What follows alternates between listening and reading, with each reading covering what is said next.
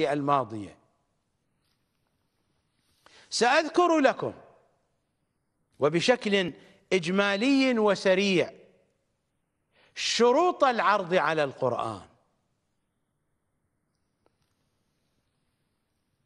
أولا الإلمام بالعربية لغة وصرفا ونحوا وفصاحة وبلاغة وأدبا وتأريخا وأسرارا. الذي لا يكون بهذا المستوى من الإلمام بالعربية لا يستطيع أن يعرض الأحاديث على الكتاب.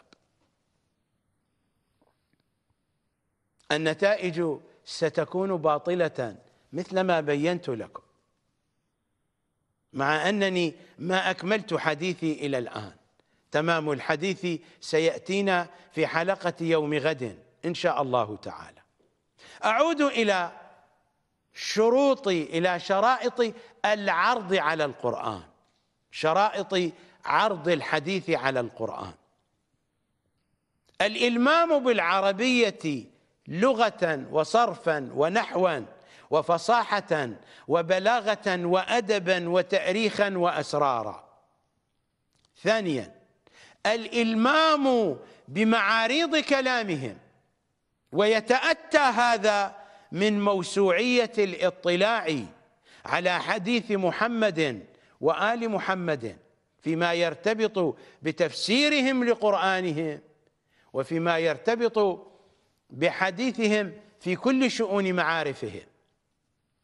ثالثا الإلمام بالتفسير العلوي عبر معرفة منهج التفسير والقدرة على العمل به وتطبيقه.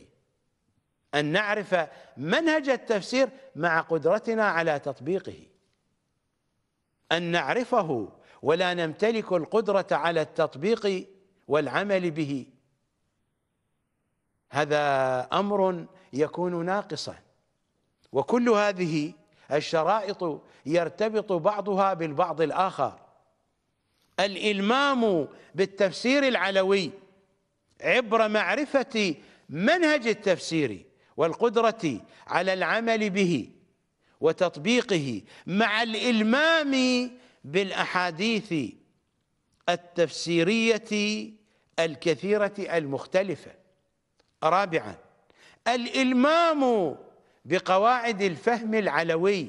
هذا علي يفهمكم بعدي. هل عرفتم الآن عظمة وأهمية مواثيق بيعة الغدير؟ مراجعكم نقضوا بيعة الغدير. ذهبوا إلى المزبلة. تركوا الخير كله هناك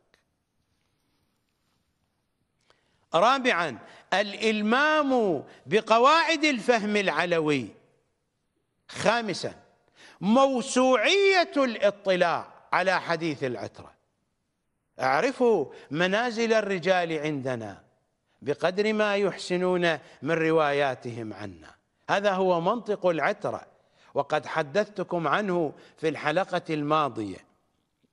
سادسا معرفة المنهج الناصبي في التفسير والعقائد وحتى في الفتاوى. ولكن في التفسير والعقائد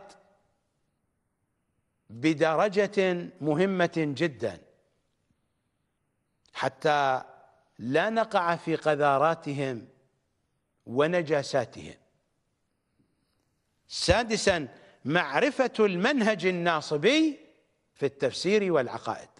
هذه شرائط العرض على القرآن مرجعكم الأعلى مرجعكم الأعلى. لا أقول من أنه لا يمتلك واحدة من هذه. كل ما عنده من رأسه إلى قدمه يناقض هذه الشرائط. مرجعكم الأعلى. وسائر مراجعكم من المرجع الأعلى إلى المرجع الأسفل لأنهم ناقضون لبيعة الغدير لأنهم مخالفون لمنهج العترة الطاهرة جملة وتفصيلا. هذه هي الحقيقة من الآخر. وأنا حينما أحدثكم أحدثكم بالأرقام وبالمصادر وبالأمثلة وبالأدلة والشواهد. وكل شيء أضعه على هذه الطاولة. وعلى عينك يا تاجر. على عينك يا تاجر.